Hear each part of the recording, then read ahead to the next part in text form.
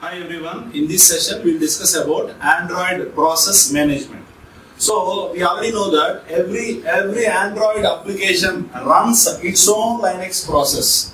We already know that every Android application runs in its own Linux process, and at the same time, every application consists of different application components every Android application consists of different uh, application components like activity, service, broadcast receiver, etc.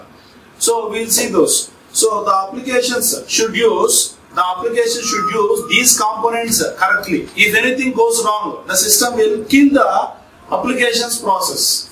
Okay, if anything goes wrong, the systems will kill the system will kill the application process. Okay. So now we will see the process types.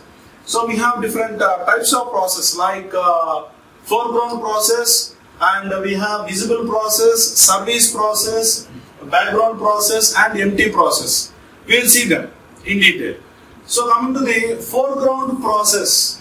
First one is foreground process. What is a foreground process? A process is considered to be as a foreground process if if any one of the if any one of the condition is hold. What are those conditions? So, if it is running an activity at the top of the screen, if it is running, if it is running anything on top of the screen, okay, that the user is interacting with it, then we call that it will come under foreground process. The second condition is it has a broadcast receiver that is currently running it has a broadcast receiver that is currently running. Yeah, okay.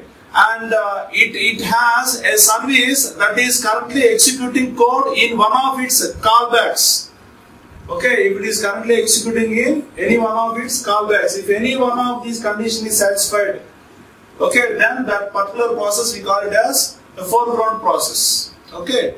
Coming to the visible process. What do you mean by visible process? A process is considered as visible process. Here also some conditions. If any condition, if what are the conditions we are discussing, if any one of the condition falls true, then that process we call it as a visible process. We will see. Uh, if it is uh, running on activity that is visible to the user on screen, okay, if you are running an activity that is uh, visible on the user on screen, okay, but it is not in the foreground. But it is not being executed in the foreground. Then we call it as visible process. Okay?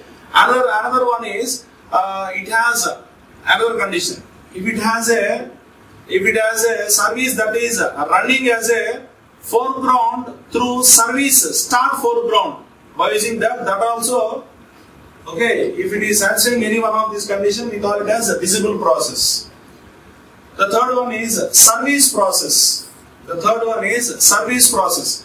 A process holding a service that has been started with the start service. That has been started with the start service method.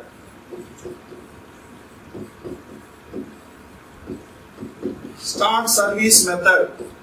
Okay, then we call this as service process. Okay, so example is uh, playing music in the background. Okay, like that we have some examples. Next one is uh, uh, background process. What is background process? A process considered as background, it also has some conditions. They are nothing but when an activity is running a method like on stop.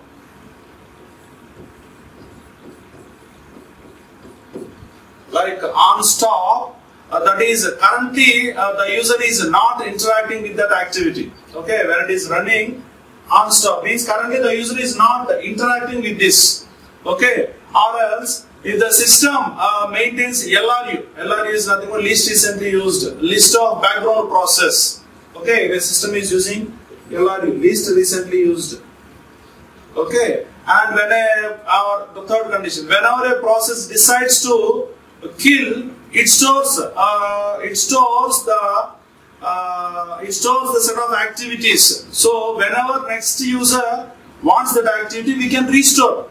Whenever we are going to kill any uh, any process, so all those all those activities associated with that process, no, they will store somewhere. And if any new user wants to use uh, the activities which were used by the previous uh, process, then we will restore that. Okay. So if anything happens, okay. So killing the activities, if anything goes, uh, if anything happens, then we say that it will come under background process. Okay. The last but not least is a empty process. So what do you mean empty process? A process is considered empty if it holds some conditions like when a process don't have any activity, when a process have no, when a process no activity component. Okay. And second one is caching of empty process inside memory. It reduces relevance of application once again if user wants that application in future. Okay. So these are some of the areas where the process comes under empty process. Okay. So these are some of the process types. Right. With this we will wind up our uh, session. Thank you.